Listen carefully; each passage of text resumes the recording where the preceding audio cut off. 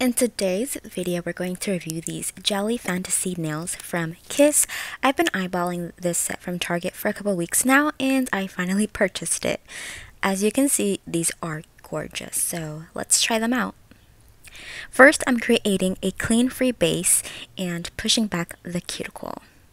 Not only does this simple easy step help the press-ons last longer, but it makes them look better too, and it's a must, especially when applying press-ons.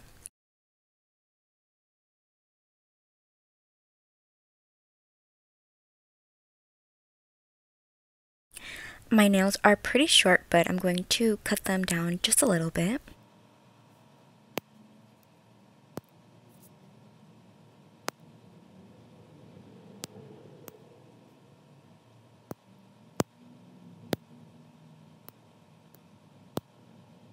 I'm going to open the package now and remove the lid.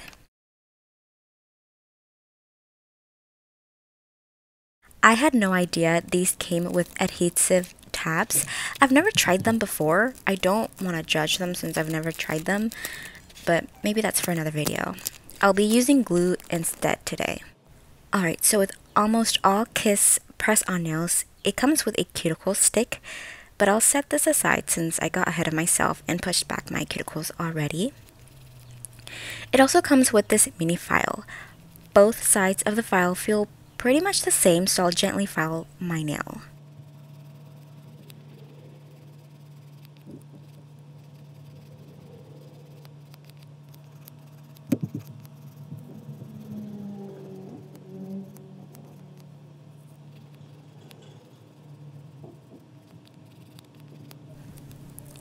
I thought it would be interesting to time how long I take to apply press-ons from start to finish. Press-ons can be pretty simple, but there are some factors that can affect the time duration. For example, if the press-ons fit your nails perfectly, then no filing is needed, and all you need to do is glue them on. But these press-ons are too big for me. I could not find one that perfectly fit so that means I'm going to do some filing. These nails did not come numbered, which made me go on a scavenger hunt to find its pair, and I didn't like that. Now I'm going to take my mini file and fix near the cuticle area.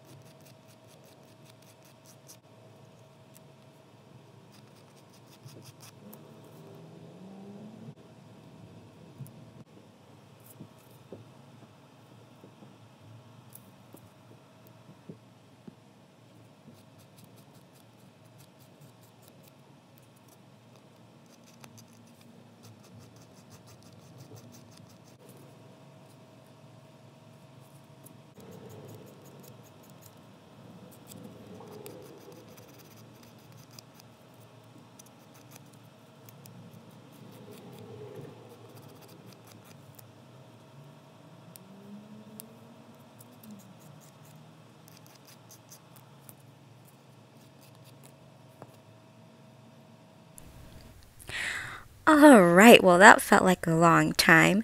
When the press-ons don't fit my nails, I take my time filing so they can look natural and unnoticeable at a glance that they're pretty fake.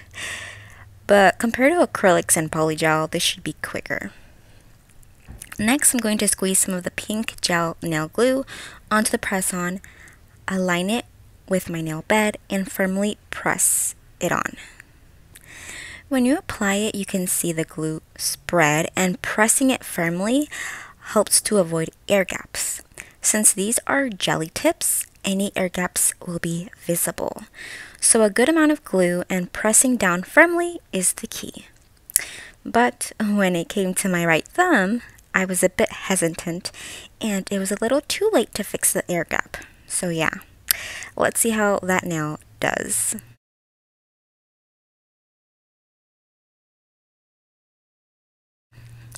Alright, we're almost done. I'm going to file off that little tip the nail has using the mini file. I was deciding whether to add a top coat, but you'd think that the creator would add a protectant layer on top, right? So I'm not going to add it. Next, I'm using my green tea serum. That's actually for the face, but it should take care of the cuticle just fine.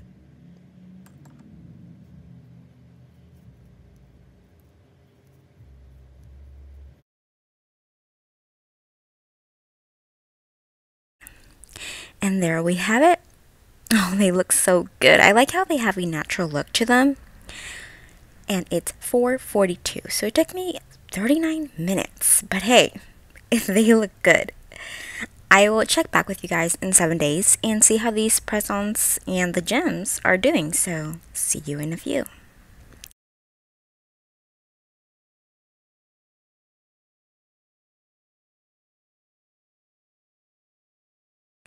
So this is a day after actually, and they're looking the same. Nothing's changed.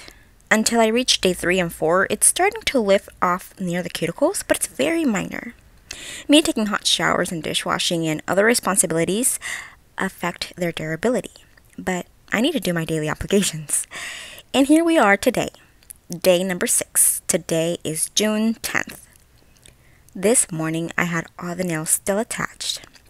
And my plan originally was to film the end of the video after I got home from work today. But during work, my right thumbnail popped off when it pressed against a box. So I was like, really? The day I was planning to end the video? But anyways, that's the reality. But keep in mind, this nail had air gaps so it affected it. But this is the condition of the other nails.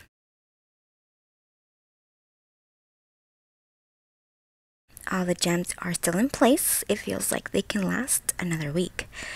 But this is it guys. I had fun doing these nails. Hope you enjoyed. Don't forget to like and subscribe and stay tuned for my next video. Bye guys.